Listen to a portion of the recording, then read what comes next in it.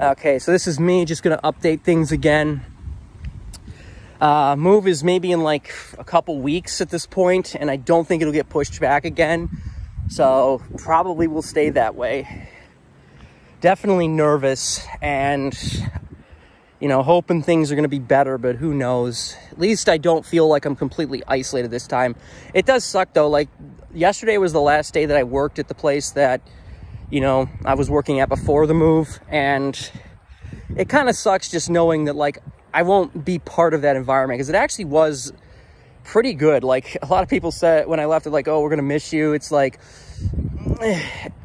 and you know got a lot of numbers and stuff and you know people were just really nice it's like it's a nice place to work i don't know i mean i do not i would probably have to leave eventually because like i think the work is taking a toll on my body like i can't i'm get feeling tired pushing as many carts anymore as i used to so it's sort of, and my muscles feel like they're definitely starting to feel the strain so i wouldn't want to do that long term anyways but it still sucks it's like i don't know I know it's crazy to sound, but it felt like more of a family than my actual family has ever felt. I, I don't know if I'm being too, you know, sappy here, but it kind of sucks, honestly. Mm, I just hope, I hope a lot of them meant what they said when they said they'll try to stay in touch, because that will suck if they don't.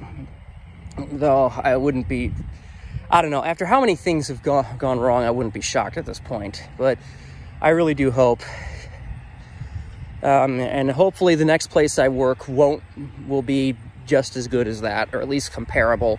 Because I've definitely I haven't worked in bad places, but I've definitely been in bad in volunteer environments and bad uh, school environments, and let me tell you, they really ruin things. In, fa- in fact, that's part of the reason why I gave up on meteorology because I thought it would be a good supportive community, and it turned out no, it's not. It's to- it's very toxic. A lot of them are very toxic and I'm like, well, I don't want any part of this. Why, you know, I, I maybe if I loved what I was doing, but I'm sort of like eh about it. And I, I think part of what I was in love with was the idea that this community would finally be people accepting me. And it's like, no, it's not that. So why do I want to work among them? Why would I throw myself amongst an environment where the colleagues have proven to be toxic before I even work there? Because it's, yeah, and these are the people that are going to go into that field and they're toxic when I'm in college with them. Yeah, I, I think I'm going to pass on that on that, Snoop.